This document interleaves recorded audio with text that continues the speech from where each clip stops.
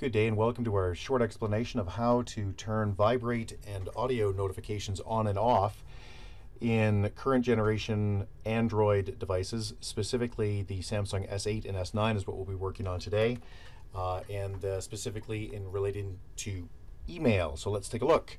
So what you do is you click on your email, you click the three bars at the top left hand corner and select the co settings cog. You then click notifications down at the bottom.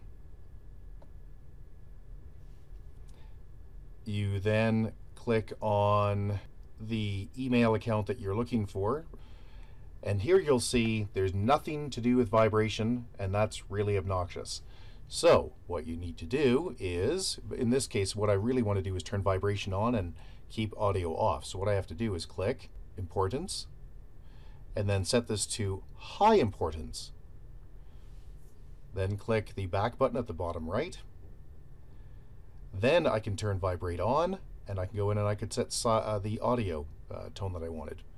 I'm going to set this to something loud so you can hear it like doorbell. There, hopefully you can hear that.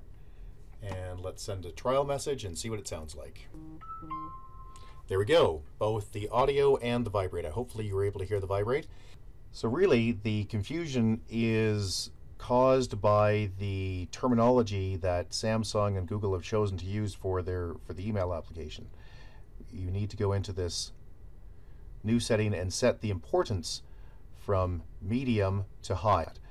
Uh, but if you have it on uh, medium or low, it uh, gives you nothing. It's really just a categorization uh, confusion. If you have any questions, please get a hold of us at www.urtech.ca. Thank you. Bye bye.